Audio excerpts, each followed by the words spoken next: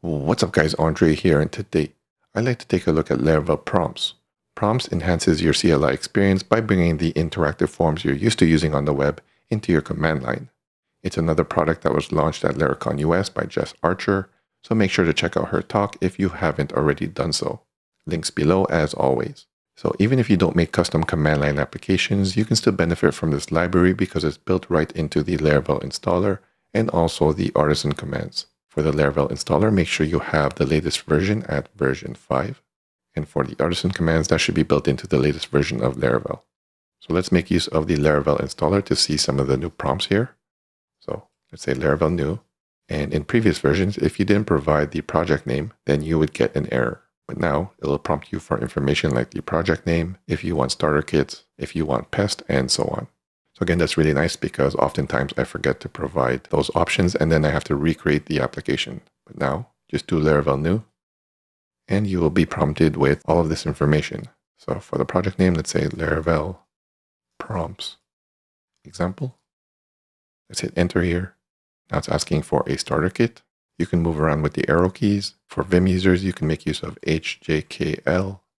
So let's select Breeze here. It's asking what stack you want. Let's stick with Blade. Dark mode, why not? And let's do pest here. And sure, we'll initialize a Git repo. And you can see it's now installing the Laravel application with all of those options. Okay, that's done. Let's go into that project. So Laravel prompts example. And let's take a look at some of the artisan commands here. Now, all of the options you're used to using still work, but you can also make use of these prompts as well. So for example, if I wanted to make a new model, we can say PHP artisan make model. And again, before, if you didn't provide the model name, then you would get an error. But now it will prompt you for it. And you can see we have this nice placeholder text to give you an example of what the naming convention should be. And this would be more useful in other things like events or controllers. So let's make an order model here. And you can see we have this multi-select, which allows us to add any of the following here. So if you were to do this before, you would have to memorize all of the options, which I never did. I usually just pass dash A to give me everything, even though I didn't make use of everything. But now we have this multi-select, we can just hit space and select what we want. Let's say factory, seeder, requests, migration, policy, and that's good. Let's press enter here. And you can see it created everything we selected. Let's take a look at another command here. How about a controller? Again, if you don't pass the controller name, it will ask you for it. Oh, and another nice option here. Let me just cancel out of this so you can see the nice canceled state, which is a small detail, but makes for a really nice user experience. You can see we have the word canceled, and there's a line through user controller, which indicates it was not created. So let's run that again. Again, we have a placeholder, so you can see the naming convention. So let's say user controller. We have the different options for controllers, which is nice. Let's select a resource controller. And you can see we have this optional drop down here where you can associate a model to this controller. So it lists all of the models in your application and you can go ahead and select that, which is really nice. And that created our controller for us. How about PHP artisan test, make test. Again, we have our naming convention, user test. Since we have pest installed, we have the option to create a pest test. And that created it for us. One last thing here, say PHP artisan vendor publish. Now, if you have several packages installed, this list can get quite large. But you can see here we have the ability to scroll. So it doesn't take up your entire screen, which is super nice.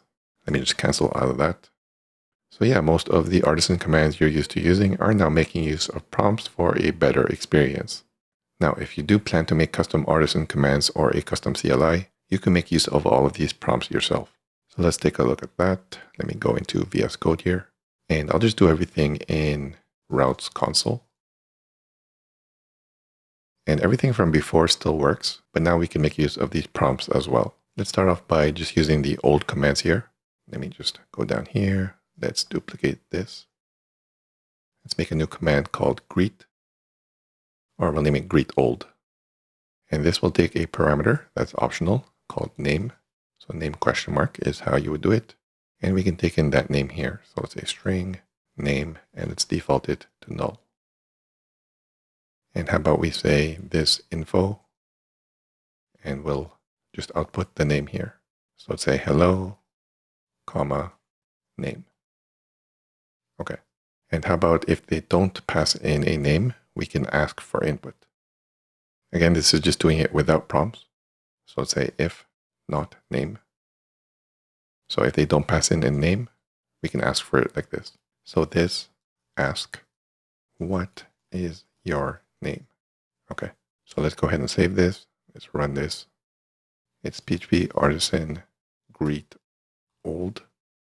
And if I don't pass a param, you can see it does ask for your name. And I forgot to save that to a variable, so name. Try that again. Ask for my name. And we do get our greeting. But now let's go ahead and make use of prompts here. Let's see if we can work split screen here. And let me just verify this command works with an argument as well. And it does. Okay, let's go ahead and make use of prompts here. So let me duplicate this one. Let's say greet. And we don't need this purpose. I believe this gives the description when you say PHP artisan, but let's just leave it as blank. Okay, so if you take a look at the docs here, they have really good examples of all the available prompts. So we have all of these here. So I'm just basically going to copy and paste these so you can see them in action. So let's start with text. So obviously we are using Laravel here, so we don't need to composer require it. But this package does work in non-Laravel projects. Let's start with text here. So pretty straightforward. We have to import the function text and make use of it like this. So instead of ask, we can say text. And unfortunately, VS Code won't auto import it like you're used to because it's actually a function, which you don't see that often within the framework. So you can see it says the class is not found. So we have to do it manually. So let me grab this. Let's import that up here. Might be an option, but I don't have that set up. You can see it using a function here. And if I just go into that, you can see the implementation here for all of the prompts. Okay. Let's go ahead and save that. And now let's see if this works. So we have greet. Let's not provide the input. And let's see if we get that new prompt. And we do. Again, let me say my name here and we get the same output. Let me just clear that. There are other options here. You can see it's making use of named parameters. So we can say placeholder, we can give it a default value, we can make it required, just like a standard input type equals text in a web form. So let's grab all of this, let's put it in here, save that, say the default is my name. Let's take a look at the other options here we can make it required. And you can also pass a custom message here. So let's do that. So let's add required. Your name is required. What else do we have here? We have validation. So if you want custom validation rules, you can make use of this validate option, which takes in a function. And in the example, they're making use of the match expression. So for this case, return this error. For this case, return this error. And if you return null, then that means there's no error.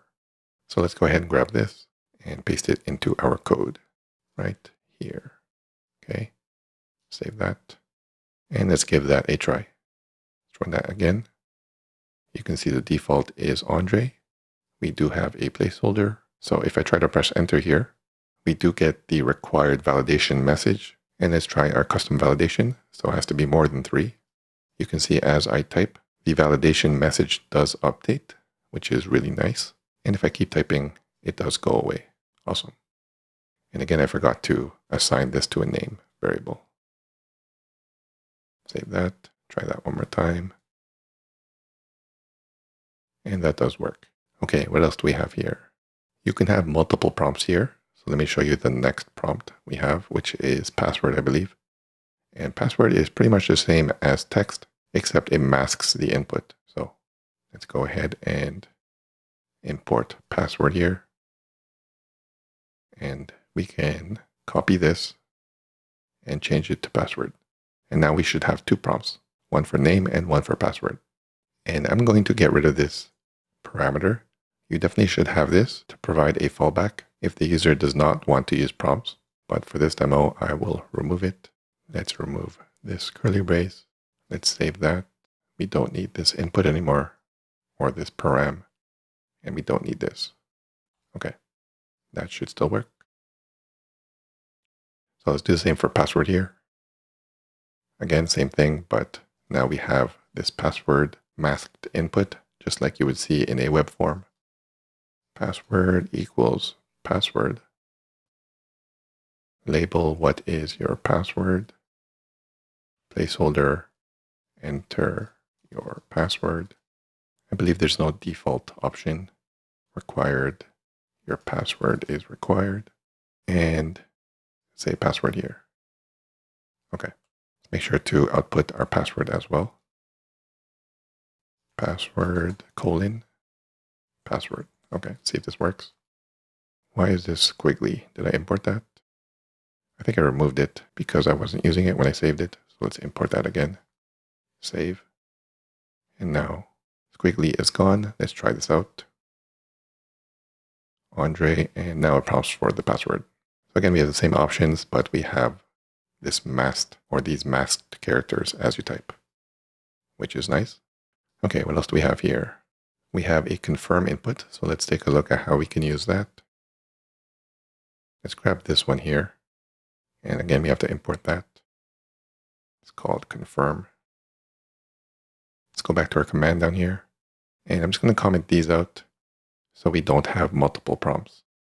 So let's comment this and I guess these as well. And we'll just add it below here. So let's paste that in. Do you accept the terms? And how about we just die and dump confirmed here?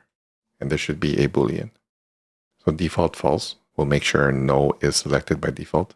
You can set that to true if you like. So let's try that out. You can see no is selected by default. So if I hit no, should be false. If I hit yes, should be true. Now there should be options to force yes. So you can also specify custom text for yes or no. And here's requiring yes. So we just say required true. Or just like before, you can provide a custom message here. So let's paste that in here. Or for now, the yes and the no. And let's also say custom required message. Save that. Try that again. So now, if I hit decline, you can see we get this error message until we accept it. Okay, let's take a look at a select input, which is equivalent to a select input on a web form. So a drop down or maybe even a radio button. So the user can only select one option. So let's grab this here. Actually, we'll grab this one down here. So we have a label and we have options here. And if you use an associative array, then this is what your code will use, but this is what the user will see in the prompt. So let's go ahead and grab this, role, make sure to import select. Again, I'll just comment this out. Let's paste that in. Let me import select up here. Okay. Let's save that. So we have three options. It's going to default to owner here, and it's lined up that as well. Save that. Let's run it again. You can see it defaults to owner, and we can select anything we want here. And you can see it's dumping the key here, but it's showing member with an uppercase M. So here. We also have the option to scroll, which you saw earlier when I did vendor publish. So you can just provide this scroll option and it says 5 is the default, but you can change that with this option. So let's say scroll, let's say 3, but we have to add more options here, so I'll just do that. Okay, so I added more options. Let's try that again. And you can see we do have the scroll bar here, so we can scroll down. And if we hit down on the last one, it will scroll back to the top. And just like our other prompts, we can have validation as well. So let's take a look at this example here. Let's paste that into our code. I'll put it right here, add our comma here, save, and we'll get rid of this here. So if we select owner, we should get this error message. So let me save that. Let's try that again. And I'm going to select owner here, and we do get that error message. Next, we have a multi-select. So this will be the equivalent of checkboxes in your web form. Again, pretty straightforward. Take a look at the example they have here. Let's copy this one. So same deal as a single select. These are the options. And these are the ones that are selected by default. Let's make sure to import multi-select as well. Let's go back to our code. Let's comment this out, space that in. Let's die and dump permissions. Let's make sure to import multi-select up here. Okay, save that. Let's try that here. And I have a syntax error. Forgot a semicolon. Let's try again. You can see read and create are selected by default here, but I can scroll down, hit space to deselect, and press enter and we should get an array of permissions here. So in this case, all of them. Cool. Again, we have the scroll option, which I won't show you since it's the same thing. And you can also say required true if you want the user to select at least one option. And of course, we have validation as well, which again is the same as the others. Let's move on to suggest here, which is like a text input, but it has suggestions, which you don't have to follow. So let's take a look at this. We'll grab this. Actually, let's grab this one down here, which has a placeholder as well. So we'll grab this one. And again, we have the same options as before, like required and validation, which I won't show you. Let's just check out this demo here. Again, let's comment this out. Let's paste this in. Let's make sure to import suggest. Let's change the default to my name. Actually, I won't have a default here, just so you can see the suggestions that come up. So let me save this. Make sure to import suggest up here. Suggest. And let's give that a try. So I can press down here and you'll see the suggestions that we have in our code. If I hit enter, it will populate our input. And I didn't die and dump it, but that should work. And again, you don't have to enter any of the suggestions if you don't want to. Okay.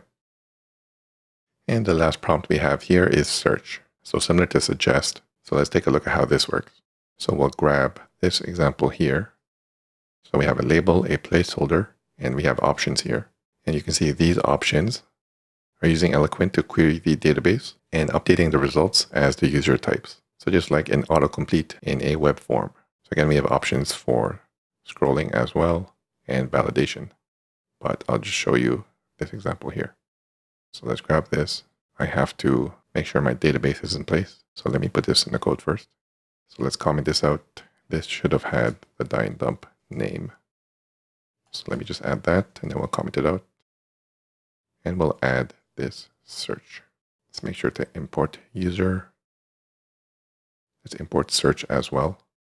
So up here, search, okay. And so again, as the user types, it should perform this query here and return any results here. And you can see we're only interested in the name and the ID. So this should be an array with the key of an ID and the value as a name. So let me save this. I believe I do have a database set up already. So let me just update this. Let's save this. Let's go into database seeder. So we have some data in here. Let's uncomment this, which should create 10 users. Let me say 50 here. Save that. And let me migrate fresh seed, which is an alias I have. And that does work. So we have users in our database now. And hopefully our command should work. So as I start to type, you can see it is querying our database here and showing the results. And I think I forgot to die and dump the name again, or the ID in this case. So let's go ahead and die and dump the ID. Let's run that again. Let me cancel this, run it again, look for someone, and when I hit enter, that should be their user ID. And it is, cool. So yeah, that is a look at using Laravel prompts for your CLI applications. It's definitely something I'll be making use of all the time, whether it's making custom artisan commands or just making use of the existing artisan commands when making new models or controllers. So yeah, be sure to check out Laravel prompts.